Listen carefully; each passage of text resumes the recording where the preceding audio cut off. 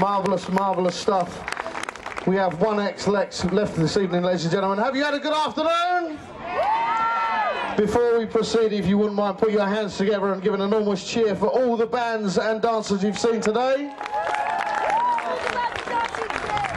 Ladies and gentlemen, if you do want to know more about Leicestershire Arts and Education, simply tap that into Tinternet and it will all come up. If you're interested in the Summer Rock School, that's where to look. If you want to learn the instrument, that's where to look as well. Ladies and gentlemen, we've had a wealth of young talent today on this fabulous stage.